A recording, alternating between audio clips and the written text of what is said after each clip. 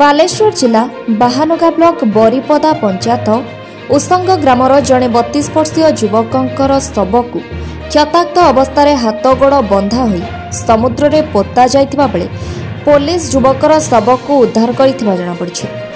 ଖବର ନେବାରୁ ଜଣାପଡ଼ିଛି ଯେ ଖନ୍ତାପଡ଼ା ଥାନା ଓସଙ୍ଗ ଗ୍ରାମର ସୁରେନ୍ଦ୍ର ମଲ୍ଲିକଙ୍କ ପୁଅ ବତିଶ ବର୍ଷୀୟ ଜୟନ୍ତ ଗତ ଶନିବାର ରାତିରେ ଘରେ ବସି ଖାଉଥିବା ବେଳେ ଜୟନ୍ତଙ୍କ ନିକଟକୁ ଏକ ଅଜଣା ନମ୍ବରରୁ ଫୋନ୍ କଲ୍ ଆସିଥିଲା ଫୋନ୍ କଲ୍ ପାଇ ଜୟନ୍ତ ଘରୁ ବାହାରକୁ ବାହାରି ଆସିଥିଲେ। ସେହି ସମୟଠାରୁ ଜୟନ୍ତର ପତ୍ତା ମିଳିନଥିଲା ସ୍ତ୍ରୀ ପାର୍ବତୀ ଏବଂ ପରିବାର ଲୋକେ ବହୁ ଖୋଜାଖୋଜି କରି ଜୟନ୍ତଙ୍କ ପତ୍ତା ନ ପାଇବାରୁ ଗୋପାଳପୁର ଫାଣ୍ଡିରେ ସ୍ୱାମୀ ନିଖୋଜ ନେଇ ସ୍ତ୍ରୀ ଲିଖିତ ଅଭିଯୋଗ କରିଥିଲେ।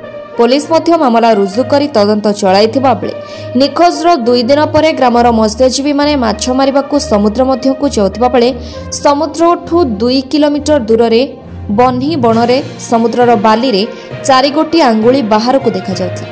ଲୋକେ ଏହାକୁ ସନ୍ଦେହ କରି ଗୋପାଳପୁର ଫାଣ୍ଡି ପୋଲିସକୁ ଖବର ଦେଇଥିଲେ।